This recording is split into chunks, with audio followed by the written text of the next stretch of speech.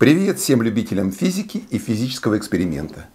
С вами Андрей Щетников, и недавно мы вернулись к теме кипения в ролике «Пульсирующая тепловая трубка». И один из наших подписчиков предложил нам снять ролик про паровой удар, чем мы сейчас и займемся. И начнем мы ну, с такого довольно широко известного опыта. Здесь у меня на плитке стоит пустая, почти пустая баночка, а в ней уже несколько минут кипит вода. Я беру эту баночку, переворачиваю и опускаю в холодную воду. И посмотрите, как сильно смяло банку. И сейчас мы объясним, почему это произошло. Дело в том, что когда банка стояла на плите, и вода кипела, от воды поднимались водяные, поднимался водяной пар, и пар постепенно занимал весь объем банки, вытесняя оттуда воздух. Ну, а потом я поднял банку и достаточно быстро поднес ее к воде.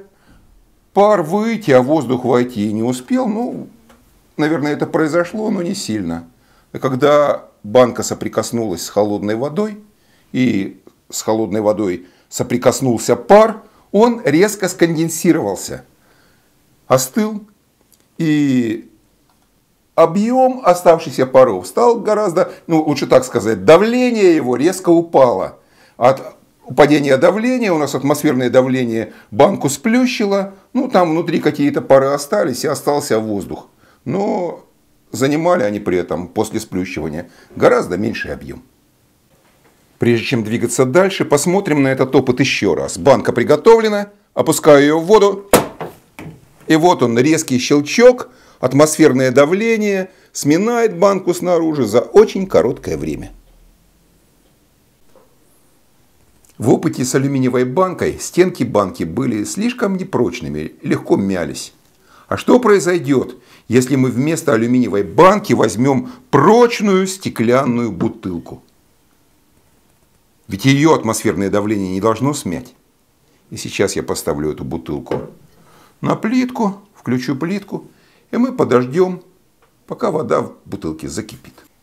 Вода в бутылке покипела уже несколько минут, крышка подпрыгивает. Я снимаю крышку, переворачиваю бутылку, сливаю воду и ставлю внутрь. Вот это удар! Хорошо посмотреть на него в замедленной съемке. И вот бутылка погружена в воду. Какое-то время прошло, ничего не происходило. И мы видим, как поверхность воды начала медленно подниматься, а потом она движется все быстрее и быстрее. Что-то выстреливает вверх. Вся вода вскипает в объеме, заполняется пузырьками. Эти пузырьки постепенно успокаиваются. И посмотрите, почти вся бутылка после этого опыта – оказалась заполнена водой. Там было очень мало воздуха, и на старте она вся была заполнена паром. В этих двух опытах бутылка осталась целой. Правда, когда мы попытались воспроизвести этот эксперимент в третий раз, бутылка не выдержала и треснула. А теперь представьте себе, что произойдет, если такой паровой удар случится в промышленных масштабах, где-нибудь на теплоэлектростанции. Понятно, что это может привести к катастрофическим разрушениям, поэтому следует всячески избегать создания таких условий, при которых паровой удар может случиться. А теперь я хочу поблагодарить э, того человека, который нам прислал предложение сделать этот опыт. Я знаю, что его зовут Альберт, правда не знаю фамилии. Ну и хочу поблагодарить вас всех за то, что вы нас смотрите. Спасибо вам большое за внимание.